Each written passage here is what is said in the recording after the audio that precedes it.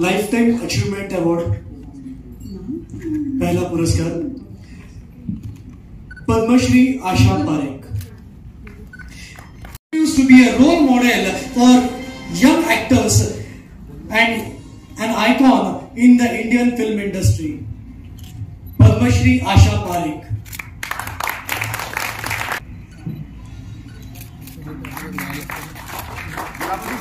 ये ये सामने देखिए मैडम।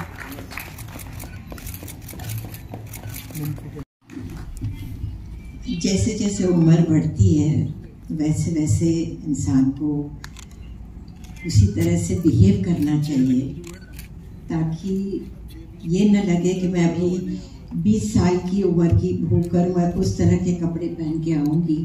तो सभी लोग हंसेंगे कि ये क्या हो गया है इसको। तो मुझे लगता है कि one has to age gracefully that's what I feel now that can't be. That can't be.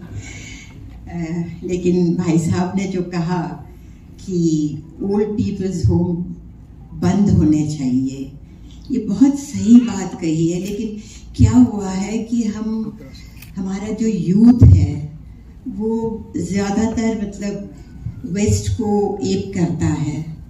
जो वेस्टर्न लोग करते हैं वो हम करना चाहते हैं। तो ये बहुत गलत बात है। हमें अपने माँ बाप मुझे ऐसे लगता है, मैं अपने माँ बाप को भगवान समझती हूँ। क्योंकि अगर वो नहीं होते तो मैं आज यहाँ नहीं होती। क्योंकि उन्होंने मुझे जो परवरिश दी वो बहुत मायना रखती है।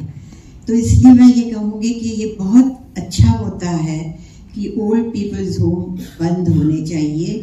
और जो लड़के बदमाशियाँ करते हैं, अपने माँ बाप को ओल्ड पीपल्स होम उनकी वाकई तस्वीर पेपर में आनी चाहिए और कहना चाहिए कि आप किस तरह के बेटे हो। मतलब माँ बाप जो है, जैसे मैंने कहा, भगवान है, और उसी को अगर आप इज़्ज़त और मान नहीं देंगे तो कौन देगा? तो इसीलिए आई थिंक ये बहुत अच्छी बात है कि ओल्ड पीपल्स होम ना हो। Thank you